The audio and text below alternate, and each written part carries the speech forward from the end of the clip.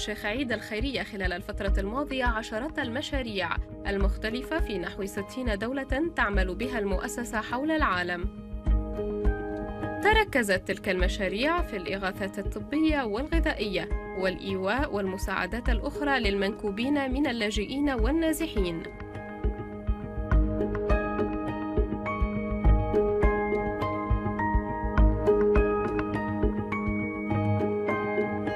والمشاريع الإنشائية للمساجد والمدارس والمعاهد العلمية والمراكز الإسلامية ومراكز تحفيظ القرآن ودور الأيتام ومشاريع المياه من الآبار والبرادات ومشاريع الرعاية الصحية والمخيمات والأيام الطبية لعلاج المرضى وتوفير فرص العمل ومصدر الدخل للأسر الفقيرة عبر المشاريع التنموية.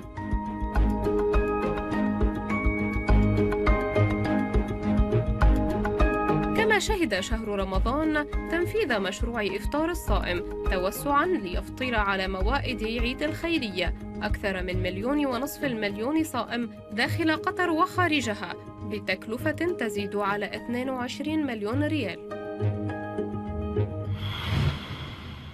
وجعلنا من الماء كل شيء أفلا يؤمنون.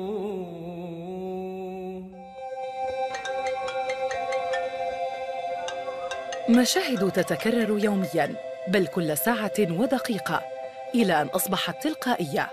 ولا أحد منا يتساءل هل ما فعلته صواب أم خطأ. لا أحد يحاسب نفسه على جهاز تلفاز تركه يحدث نفسه أو مصباح ينير ما حوله دون الحاجة إليه. كثيرون منا لا يعرفون قدر النعمة التي بين أيديهم لأنهم تعودوا على وجودها أو لاعتقادهم بأن ثمنها بخس وتكلفتها قليلة.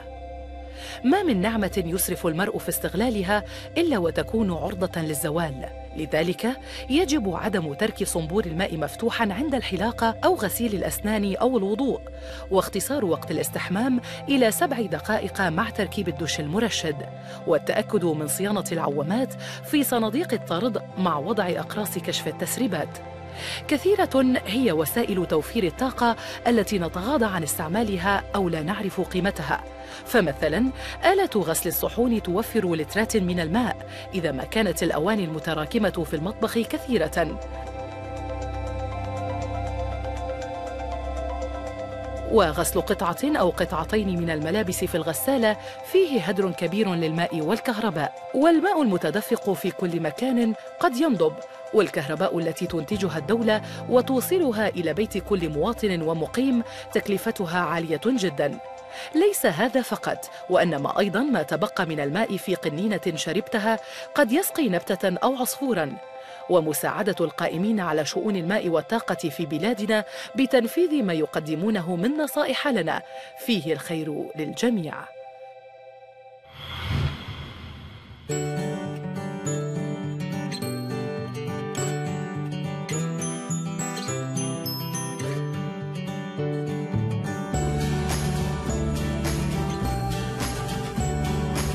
تبعا لسنة التفاعل الحاصل بين الإنسان ونزوعه صوب عوالم الخيال وركوب أمواجه أخذت الألعاب الإلكترونية في غزو العالم حاملة معها جدلية الحقيقة والافتراض. لعبة بوكيمون جو أخذت لنفسها في الآونة الأخيرة حيزاً في قلوب محبي الألعاب الإلكترونية ومتابعي المسلسل الكرتوني الشهير بوكيمون. وبين مؤيد ومعارض يبقى الشغف بلعبة البوكيمون جو وما تضفيه من متعة ورياضة سلاح ذو حدين. وحدا قد يفصل في بعض الأحيان بين حياة الإنسان وموته. قبل أن تلصق به تهمة انتهاك خصوصيات الغير.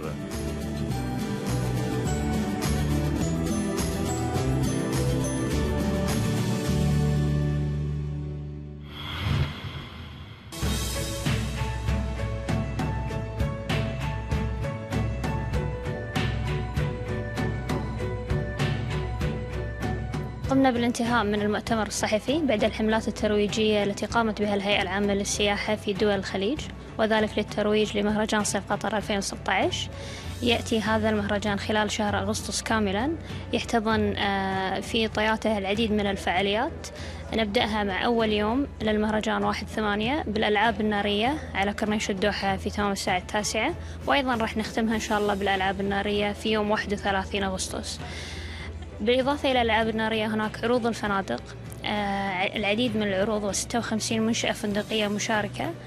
يمكنكم الاطلاع على هذه المواقع أو هذه الفنادق عبر الموقع الإلكتروني. بالإضافة إلى عروض الفنادق آه، تقام في مركز الدوحة للمعارض والمؤتمرات مدينة ترفيهية على مساحة تقريبا ثلاثين ألف متر مربع. هذه الألعاب تشمل آه، ألعاب مختلفة من ألعاب ميكانيكية إلى ألعاب المهارات إلى ألعاب تفاعلية وعروض ثقافية أيضا على المسرح. هناك عروض التسوق تقام في عدد آه، تسع من المجمعات التجارية المشاركة واللؤلؤة قطر. بالإضافة إلى عروض التسوق هناك عروض حية تناقش قضايا اجتماعية وبطابع ثقافي وطابع كوميدي مثل مهرجان الدوحة للكوميديا الذي سيقام في مركز قطر للمعارض والمؤتمرات آه، في ثلاث أيام من 18 إلى 20 أغسطس. بالإضافة إلى ذلك هناك فعالية لأول مرة تقام هي للرجال فقط واسمها جنون الشوارع ستقام في نادي الغراف الرياضي. آه، إن شاء الله راح تكون فعالية رياضية ترفيهية. نسعى من خلال هذا المحتوى أن نستقطب فيه العائلات والشباب وجميع من آه، من اختار الدوحة كوجهة سياحية يقضي فيها صيفه إن شاء الله.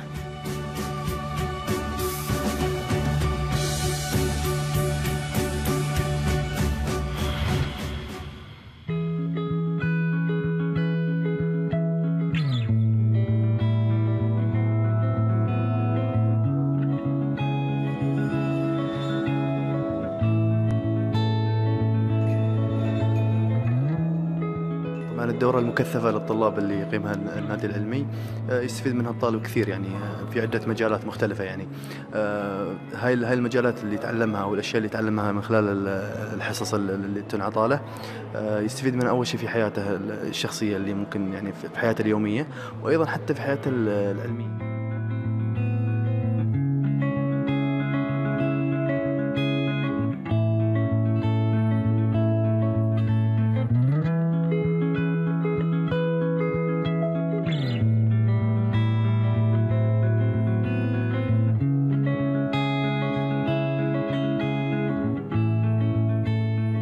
الهدف إن إحنا ننمي مجال الشباب ومهاراتهم في مجال الميكانيكا ونستغل وقتهم في شيء هم يحبونه.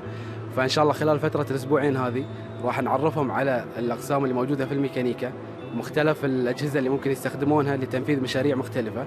وإن شاء الله مع نهاية الأسبوعين بيتم بيكونون نفذوا مشروعين مشروع الأدراج الذكية ومشروع المنشار الكهربائي. بيكون كله من عمل يدهم إن شاء الله. قسم الطاقه المجدده نهتم إحنا في كيفية الأطفال يوصلون الكهرباء بحيث إن في البيت يوصلون كهرباء أو شيء يعني أو انقطعت الكهرباء في البيت يتم توصيلها هو الطفل هذا ونعلمهم يعني بطريقة سليمة.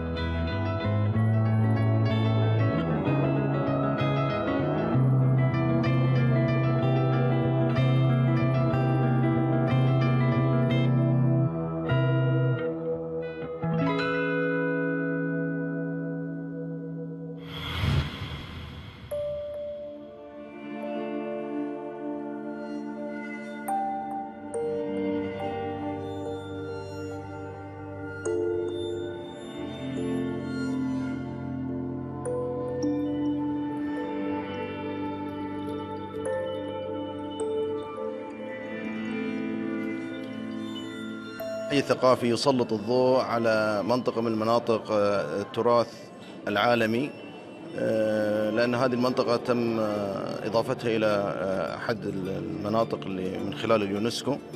المنطقة في تقع اسمها كاباناك في تضم طريق يمر عبر ست دول في أمريكا الجنوبية.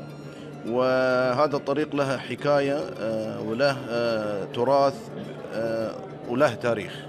ولذلك آه، الصور هذه في هذا المعرض تسلط الضوء على مجموعة من نواحي الحياة آه، آه، وطرق المعيشة وما كان عليها الناس في هذه المنطقة من آه، من حياة ومن آه، ثقافة. آه، هدف الحي الثقافي آه، دائما تنويع آه، تسليط الضوء على المعارض آه، على مناطق عالمية. وذلك آه، للاطلاع على العالم بقدر ما يمكن وجلب ما هو في العالم إلى قطر. فنتمنى أن الجمهور آه، يستمتع بهذه اللوحات والاطلاع على هالمعرض واطلاع على حضارة في أمريكا الجنوبية وهي يعني من الجهة الأخرى من العالم من قطر.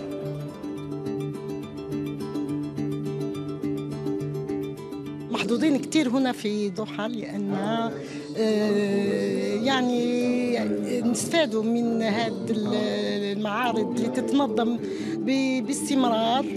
وتسمح لنا نطلعوا عن الثقافات حضارات مختلفة وهذا يدل على تفتح ال- ال- قطر لهذه الحضارات.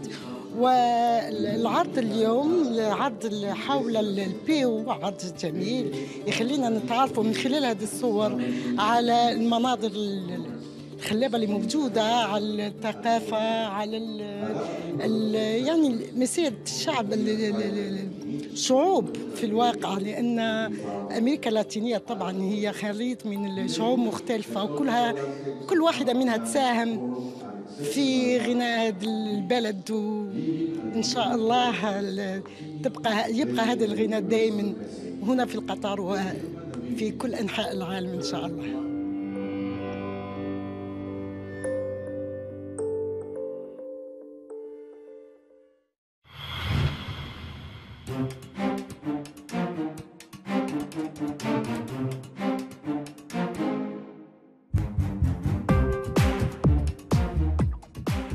بالنسبة لفن الكاريكاتير هو فن ساخر آه، يعالج أو يحاكي قضايا اجتماعية سياسية اقتصادية ثقافية رياضية بشكل فكاهي. آه، في آه، رسام الكاريكاتير أول شيء يبدأ باختيار الفكرة المناسبة وثم يقوم باختيار الشخصيات اللي بيرسمها على أساس تناسب الفكرة. ويعتمد رسم الكاريكاتير على المبالغه في في في الفكرة يعني يوسع ال- الفكرة بشكل آه، يجذب القارئ وي- وي- ويخليه يفهم الفكرة من دون تعليق حتى لو ما في تعليق يعني ممكن يفهمها. آه، رسم ال- الكاريكاتير آه، لا يتقيد بأي مدرسة فنية معينة لأنه كل رسام له الحق في اختيار ال- الأفكار المناسبة والأشياء التي تناسبه. إنما الفرق هو أنه كل تخصص اجتماعي له فرسانه في في في الرسم اقتصادي له فرسانه السياسي له فرسانه في في في في رسم الكاريكاتير.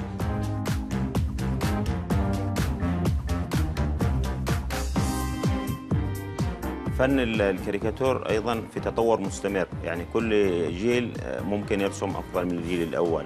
فالجيل الجديد يأتي بأفكار ورؤية غير الأفكار اللي كانت في في السابق. وان شاء الله كل جيل آه، يضيف للكاريكاتير آه، لمسات فنية أكثر من اللي كانت وإن شاء الله إلى الأمام بإذن الله.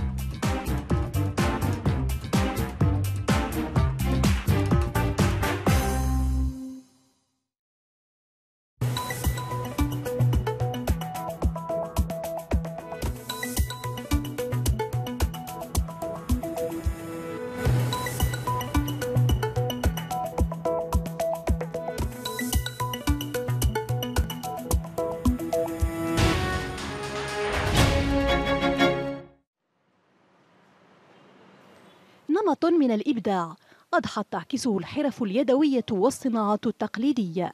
من بينها الصناعة الجلدية هذه الحرفة العريقة التي تنطلق من جلود الحيوانات لتحولها إلى تحف تراثية فنية تعكس الهوية والإرث الحضاري. كهذه الخناجر المصنوعة من الفضة الأصلية والمزينة بالزخارف والأحجار الكريمة أو هذه الأحزمة المعروفة بمحازم الإكس والتي يصر على امتلاكها حتى الصغار. هالأشياء كلها موجودة عندي في البيت لكن أنا أحب أكثر وأكثر. وكل ما حصلت آه، حاجة ثانية ولو مختلفة بالشكل أحب أقتنيها. فعندي الأشياء هذه موجودة في البيت ولله الحمد.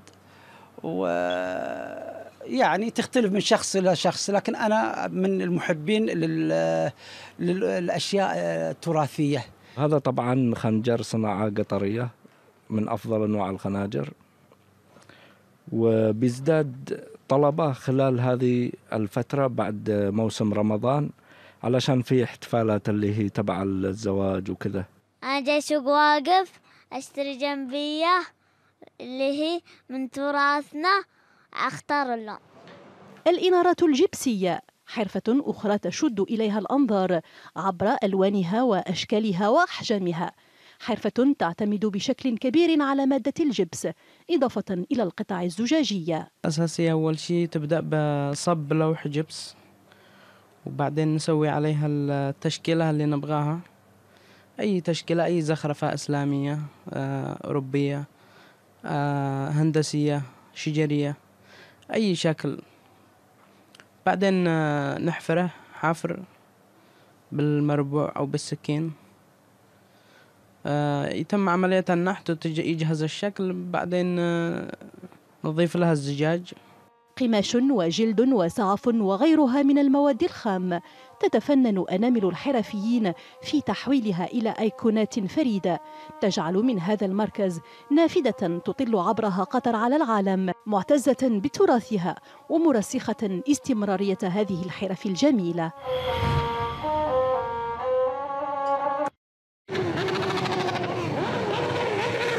الدراجة النارية أصبحت لدى الكثيرين وسيلة نقل مريحة وسريعة لتجاوز الأزمات المرورية التي تشهدها الشوارع لكن بعض السائقين يجعلونها خطيرة حين يقودونها برعونة مهددين حياتهم وحياة الآخرين. لإبراز خطورة عدم الالتزام بالقوانين والضوابط تولت هذه المجموعة من المتطوعين محاكاة الاستعراضات التي يقوم بها البعض مبرزين الأخطاء الخطيرة التي يتسببون فيها. في منهم اللي يخطي وفي منهم آه، اللي ملتزم. ناس ما في السيارات ناس تخطي وناس ملتزمة.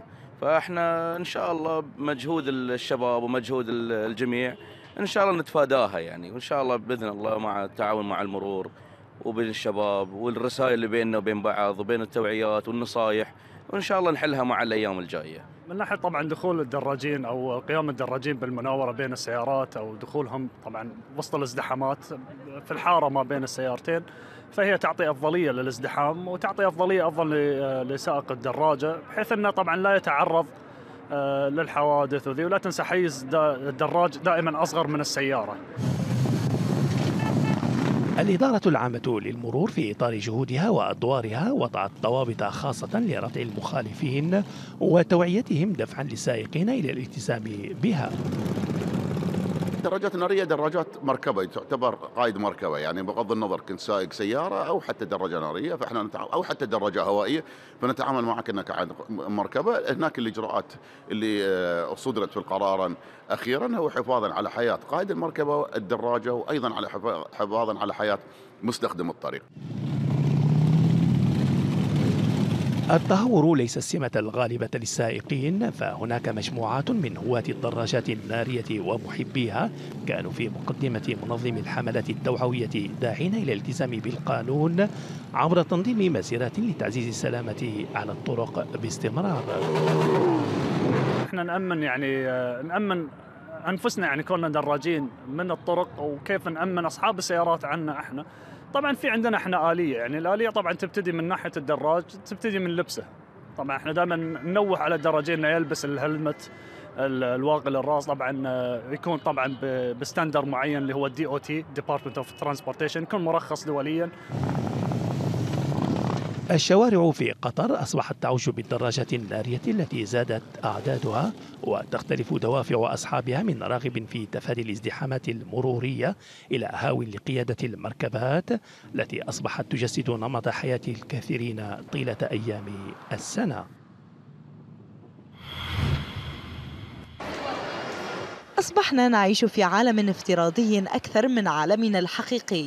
هكذا يقول البعض محذرين من خطر سيطرة العالم الافتراضي على حياة الأفراد وبالتالي تغييب الحوار والمحادثة حتى بين أفراد الأسرة الواحدة بما يسهم في تفكيك العلاقات الأسرية. بالنسبة لل خلينا نبدأ بالسلبيات هي أثرت كثير على ال- التواصل المباشر بما يؤثر بشكل آه، مباشر كمان على ال- ال- العلاقات ال- الأسرية. استخدامه بالطريقة السليمة 100% سيكون في صالح المجتمع والتواصل الاجتماعي بالذات يعني. أثر في التفكك الأسري لأنه كل مين ملتهي بآيباده بموبايله باللابتوب يعني ما بقى حدا عم يحكي وش لوش عم بيتناقش. ولكن بغض النظر عن فوائدها أو مضارها تسجل مواقع التواصل الاجتماعي عددا كبيرا ومتزايدا من المستخدمين بما جعل الكثير من المؤسسات تحاول الاستفادة من هذه الظاهرة قدر الإمكان وتحويلها إلى أداة فاعلة لتحقيق فوائد اقتصادية وثقافية. من الجوانب الإيجابية لو إحنا قسناه على مستوى أبنائنا الطلبة في المدارس إحنا نشوف إن الحمد لله عن طريق التعلم الإلكتروني عندنا على اليوتيوب أكثر من ستين ألف آم، آم، متصفح اليوت- اليوتيوب من خلال البرامج التعليمية المصورة. مواقع التواصل الاجتماعي حقيقة لا مفر منها ولكن وجب الوعي بخبايا استخداماتها المختلفة من أجل إدراك الطرق الصحيحة للاستفادة منها.